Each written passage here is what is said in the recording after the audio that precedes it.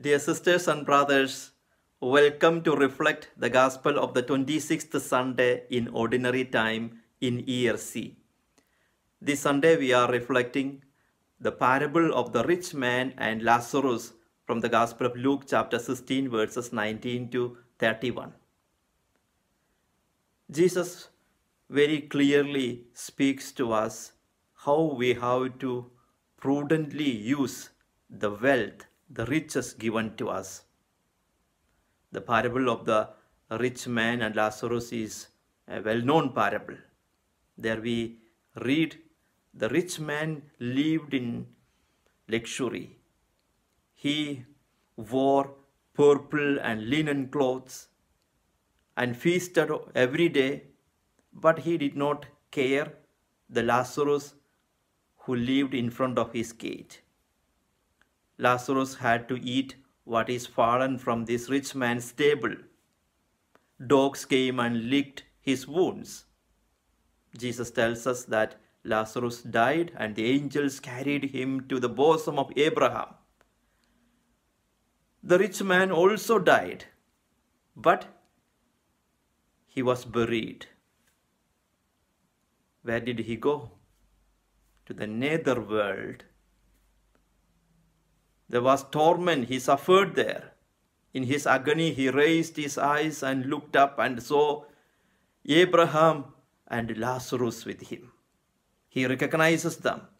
He cries out to Abraham, Father Abraham, have pity on me, have mercy upon me. Send Lazarus to me. I am suffering here, so that he can dip his finger in the water and cool my tongue.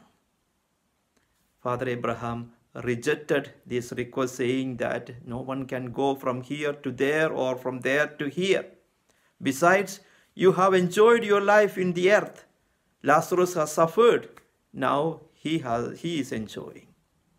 In Matthew chapter 5, in the Sermon on the Mount, in the Beatitudes, Jesus tells us, Blessed are the poor in spirit, theirs is the kingdom of heaven. Blessed are those who mourn, they will be comforted. Here the fate is reversed. The rich man enjoyed and had everything in life, and now he is suffering, and Lazarus suffered, and now he is comforted. He is enjoying. We see here the existence of heaven and the earth. The rich man during his life had everything and he enjoyed. Now he is suffering. The Lazarus is rewarded with the eternal bliss. Then the rich man requests Father Abraham to send Lazarus to his house, to his family, to his brothers. He has five brothers, so that they will not end up in this place of torment. Father Abraham says they have the prophets, they have the Moses, which means the Torah and the prophets. They have to uh, read those teachings, they have to listen to the priest, they have to live accordingly. Then the rich man requests again, No, Father Abraham, if someone after death, if they go back and inform them, if Lazarus go and tell them, they will believe, they will live then good life. Father Abraham tells him no. If they don't listen to the prophets and Moses, the priests, they will not also listen to someone after, uh, if someone goes after death to them to warn them. In this month on 19th, uh, we celebrate the feast of Our Lady of La Salette, the apparition of Our Lady of La Salette uh, in France in 1846, September 19. She appeared to Maximin and Melanie in 1846 and warned them that the need of repentance, the the need of conversion. It was 12 years before Lourdes and 70 years before Fatima. And we see that Our Lady appeared so many times in this world, in several places.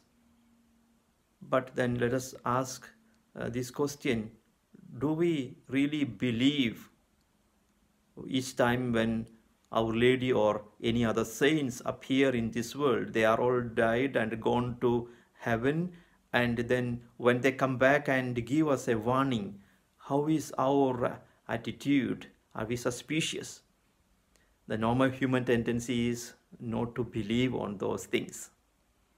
That's why here in the gospel too, Abraham tells to uh, the rich man that even if someone goes uh, from here to earth and wants them, they will not believe. Sisters and brothers, the central message of this parable is that we have to share the wealth with others. The riches that is given to us is not just for our use, for our enjoyment. We should have solidarity with the poor. We should be caring the poor. In our world today, we know that the riches are not shared equally, especially in the poor countries, in Africa, in Asia, in South America. The riches are in the hands of a few, few people. In a corrupted world, the politicians or the rich people, they accumulate more wealth and it is not being shared to the poor. There are also international organizations and there are rich people doing a lot of charity. But still we see that the selfishness in the use of wealth in our world. Jesus has said that it is hard for the rich to enter in, in the heaven. Let us ask, are we attached to wealth? Are we indifferent towards the needs of the poor, the needs of the people who are around us? How he, we handle the riches given to us? The rich man in the gospel is without a name. He could be, this rich man could be any one of the rich, any one of the rich people in this world who do not care the poor Lazarus in front of their gate. That we read often in the newspapers how, uh, how many people die of poverty or hunger in this world. Are we not responsible for the suffering, the hunger in this world? This Sunday, let us reflect about our indifference. Let us reflect our, about our attachment towards the material goods.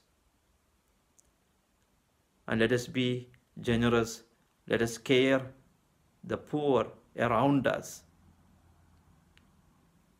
Friends, be sharers of the Word of God by sharing this video with one or two of your friends. God bless you.